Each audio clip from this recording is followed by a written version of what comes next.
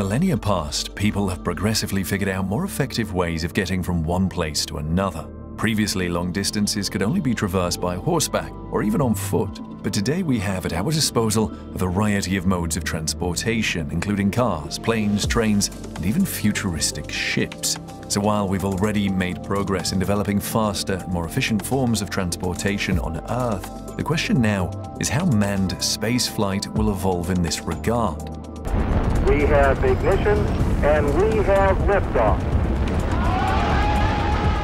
As is well known, a space probe launched from Earth takes many months, if not years, to reach its galactic target. It's hard to say what the future holds for this venture.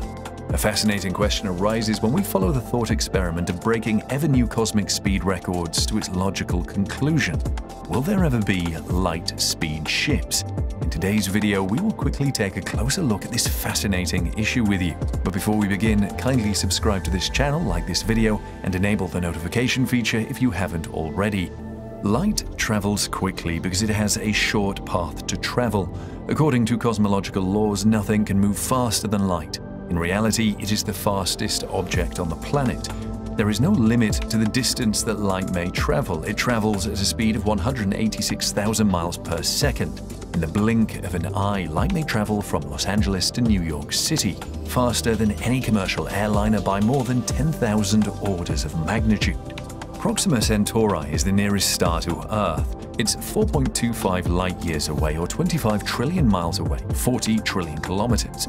The Parker Solar Probe, which is already in orbit, will achieve a top speed of 450,000 miles per hour, making it the fastest spacecraft ever. At such speed, it would take just 20 seconds to travel from Los Angeles to New York City, yet the solar probe would take 6,633 years to reach Earth's nearest neighboring solar system.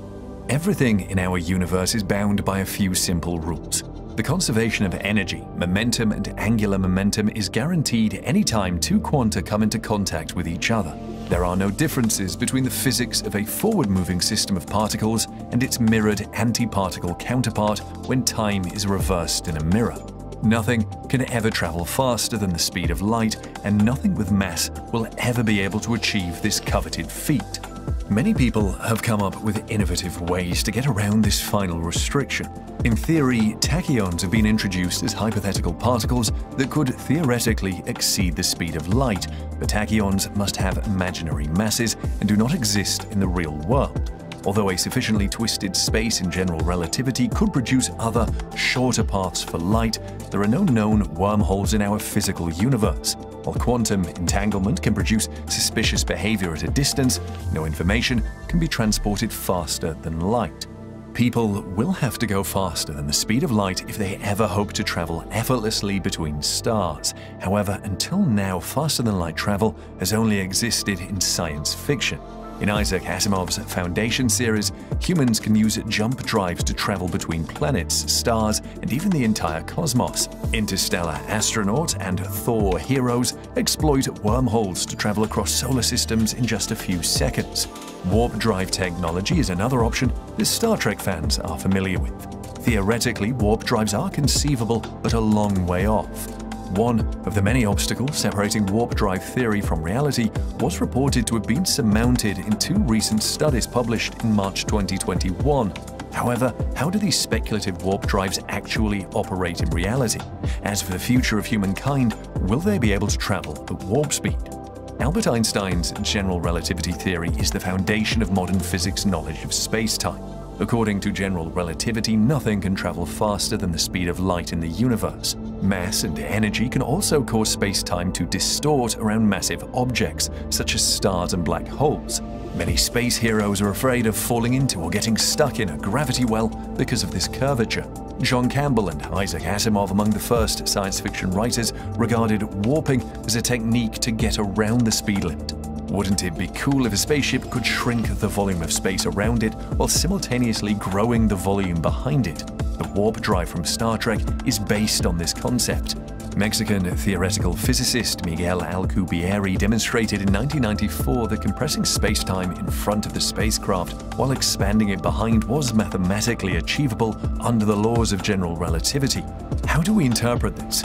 Figure out how many meters separate two places. 33 feet. The distance between points A and B is 10 seconds if you travel 1 meter each second. However, if the distance between you and point B could be reduced to only 1 meter, that would be ideal. At your greatest speed of 1 meter per second, you would arrive at point B in less than a second if you were traveling through spacetime. Using this method does not violate the laws of relativity because you are not traveling faster than the speed of light. Alcubierre proved hypothetically that the warp drive from Star Trek was possible. Surely the Proxima Centauri system is not far away and we can go now, right? One flaw with Alcubierre's method of compressing spacetime was that it needed negative energy or mass. The spacetime around the vessel would be flattened and curled to shorten distances using Alcubierre's warp drive. Either a ring of negative energy density or negative mass would be necessary for the warp drive to work. That leaves only negative energy as a viable alternative for physicists. Particles and antiparticles would have to be imbalanced in a warp drive's creation of negative energy. An electron and an anti-electron, for example, might be caught by the mass of the warp drive if they arrive near it, causing an imbalance. Energy density decreases as a result of this imbalance. This negative energy would be used by Alcubierre's warp drive to produce the space-time bubble. However, for a warp drive to generate sufficient negative energy, a great deal of matter is required. According to Alcubierre's calculations, the mass of the entire observable universe would be required to power a warp drive with a 100-meter bubble. A physicist named Chris Van Den Broeck discovered in 1999 that enlarging the bubble's volume while maintaining its surface area the same would dramatically reduce the amount of energy required to the mass of the Sun, a big step forward but still a long way from reality. What's the plan for the future? Warp drives may be closer to reality thanks to two recent articles, one by Alexei Bobrick and Gianni Martire, and the other by Erik Lentz. When Bobrick and Martire realized that they could remove the requirement to use negative energy by changing spacetime in a certain way, they were delighted. However, a warp drive that can travel faster than light cannot be created using this method. Lentz, on the other hand, came up with a different technique that doesn't involve negative energy at all. In order to solve the general relativity equations, he employed a different geometric technique and discovered that a warp drive does not require negative energy.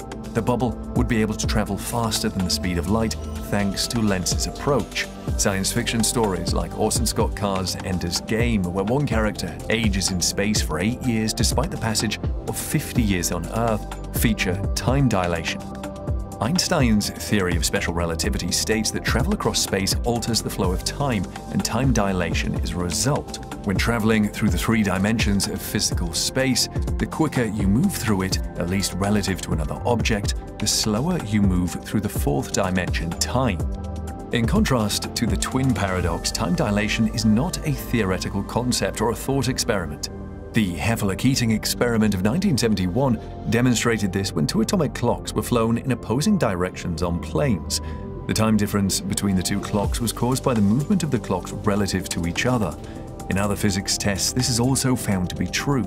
Let's not forget that these fascinating breakthroughs are based on mathematical simulations. Until we have experimental verification, we can't trust these models completely. There are still a few mysteries surrounding the science of hyperspace travel and the various propulsion technologies. All of this forward thinking excites me as a huge admirer of science fiction, and the universe is out there waiting and ready to be discovered by us.